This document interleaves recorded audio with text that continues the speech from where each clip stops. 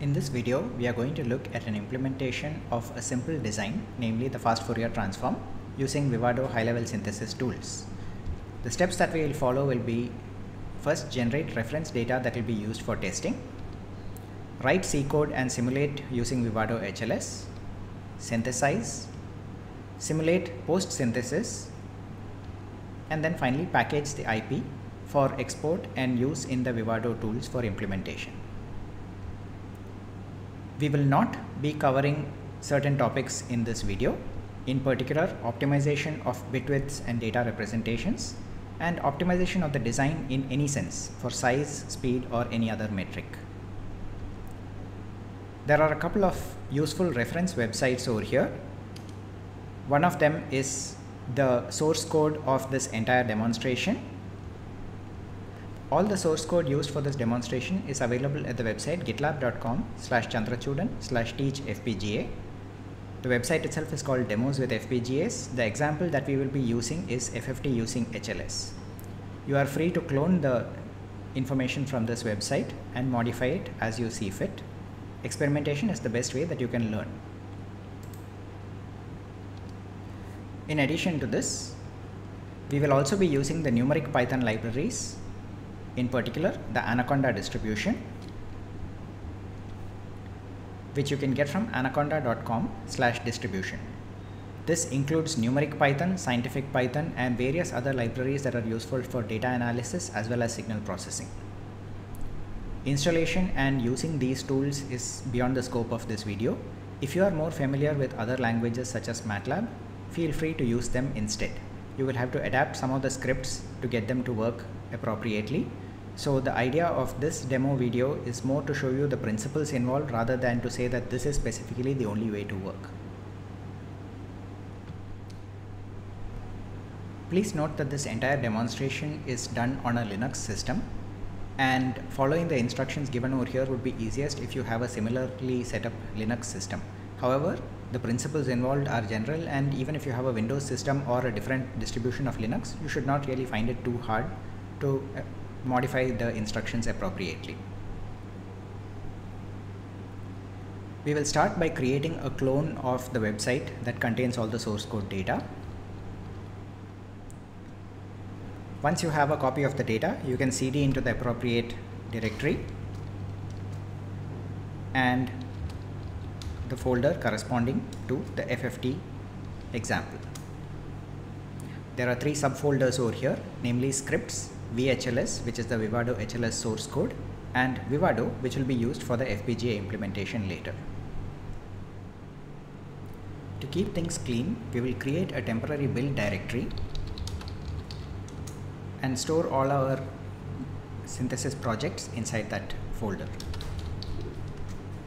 The first thing we need to do is to generate the data to be used for testing. I will first open up the script corresponding to that it is in the scripts folder and is called datagen underscore. It's a Python script. It uses a numeric Python library and defines a few functions that help us to output data. Without going into the details of exactly how the different functions work, all that you need to understand at the moment is it generates random input data starting from a known seed for repeatability the data is generated as random complex values. An FFT is computed and the input as well as the generated output are stored into two files in floating point format. The same data and the result are also stored in hex format into two other files. These will be used later for the Vivado testing on hardware.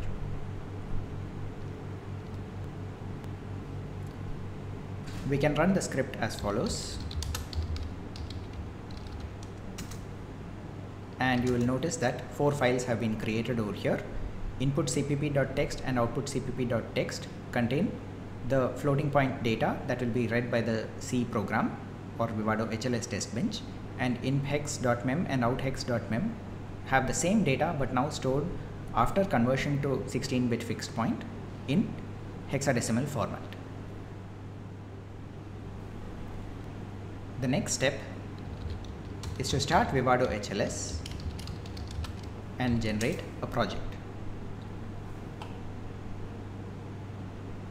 we will create a new project where we give it any name that is suitable. For example FFT32 the main source code will be added from the VHLS folder and it's fft.cpp the top function over here is FFT next we add the test bench which is fft underscore but in addition to this we also need to generate the two dot text files inp underscore cpp dot text and out underscore cpp dot text that was just generated by running the data underscore gen script the part number needs to be selected appropriately so that we can later on implement it on FPGA the simplest way to do this is to directly type the part number corresponding to the Basys 3 FPGA board over here. It is XC7A35TCPG and the part number is 236 corresponding to a 236 pin package dash 1 for minus 1 speed grade.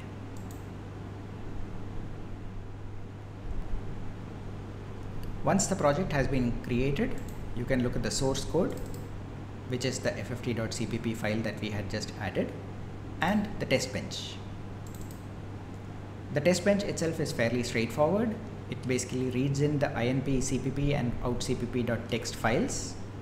The inp cpp is used in order to generate the input data array which we then feed into the FFT function and the out underscore cpp.txt file is used in order to generate another array called exp underscore out which is the expected output data. So that finally we can then go over the computed data that is data underscore out and the expected data which is exp underscore out. Calculate the difference between them the L2 norm of that. And as long as that value is less than a certain tolerance limit we will say that it is error free. The reason for applying this tolerance is that since we are converting from floating point which was used in Python to fixed point which is being used for Vivado HLS, there could in fact be some small errors and we don't want to, the system to show an error uh, for that. The tolerance that is set over here is 0.01. You can play around with this value. You may also notice that there is a for loop out here and the entire process is repeated twice. The reason for this will become clear later when we discuss the post synthesis RTL co-simulation. The first step after having written the source code is to run a C simulation. You can click on the button there that says run C simulation and once we select OK, it goes ahead, start launches a compiler and runs the simulation it is important that you see this message pass. This was printed out by the test bench and the information message CSIM done with zero errors is printed out later by Vivado HLS C simulation itself. The test bench has been written in such a way that if there were any errors, it would have indicated a message fail and would also have returned a value which is not equal to zero. Now that we are comfortable that the C simulation passes and has and is doing the correct thing, we can run C synthesis.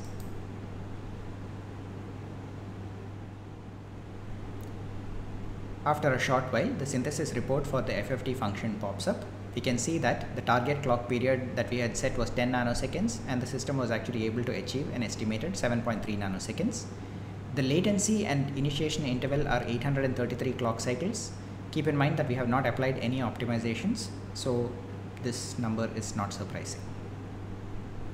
The resource usage, once again, we have not applied any kinds of optimizations, so there is nothing specific to expect out here. The only other thing of interest is the interface itself.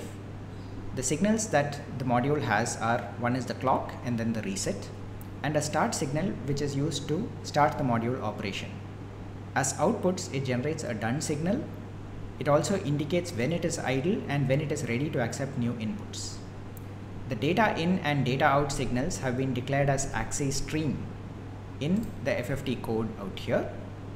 And as a result of that, both of them show up as axis streams which have the data, a valid signal to indicate when the input is valid and a ready signal that is given out by the module over here to indicate when it is ready to accept new data. This is on the input side. Conversely on the output side, the module generates a valid signal when it has valid data generated at the output and takes in a ready signal from the next stage which it can then feed into. The reason why the data is showing up as 32 bits is because we have also applied a data pack directive which takes the complex values and packs them into single 32 bit values combining the real and imaginary parts together. Once we are satisfied with the synthesis results, we can click on Run CRTL co-simulation. This brings up a Verilog simulator, Verilog or VHDL. Since both of them have been generated by the tool itself, we don't really have a specific choice of one over the other. The only thing of interest is that we can change the dump trace to all so that we can see internal signals and click on OK. The RTL co-simulation takes a little longer than the C simulation, but at the end of it, you should once again see the message pass, which indicates that exactly the same result as the C simulation has been obtained. You'll also notice up here the co-simulation report says that the Verilog status is passed and that the latency is 833 clock cycles and the initiation interval is 834. This is actually measured from the implementation. You can open the waveform viewer in order to actually see the results. The waveform viewer shows you all the data from the simulation in a Vivado environment. But once again, this is only a simulation. The important thing as far as we are concerned is the design top signals. You can look at the C outputs, in particular all the signals corresponding to data out, the C inputs, all the signals corresponding to data in, and the block level handshaking signals. A few things to observe in this waveform. One of them is the fact that since we ran the simulation twice in the test bench, you have two sections over here where input is being read from uh, the data here as well as around the 8 microsecond mark. What you can also, during those times the data valid is considered to be 1, that is to say the data is actually being read into the FFT module. The, on the output side, we have two segments once again where output is generated. The data valid is one in short intervals and at each time that the data valid becomes equal to 1 we find that there is a corresponding value of the output. This once again happens two times corresponding to the, the fact that the for loop ran twice. The start signal goes high at the 135 nanosecond mark and the corresponding done signal goes high at the 8.465 microsecond mark. This difference in clock cycles is used to compute the latency. Similarly, the time between the done signal corresponding to the first input sequence, which is at 8.465 microseconds, and the second input sequence, which ended at 16.805 microseconds, that difference gives us the initiation interval or the time between successive samples. Once we are satisfied with the waveform, we can close this, go back to Vivado HLS and now we can export the RTL as a package that can then be imported into Vivado for implementation on an FPGA. There are a number of configuration options that can be specified over here, but we will just skip all of these and accept the default values. Once again, we will not be evaluating the generated RTL, that just gives us more detailed information on timing which could be useful in certain circumstances. But for this simple example, we are going to skip this. At the end, you should see the message finished export RTL, which indicates that the RTL export completed successfully.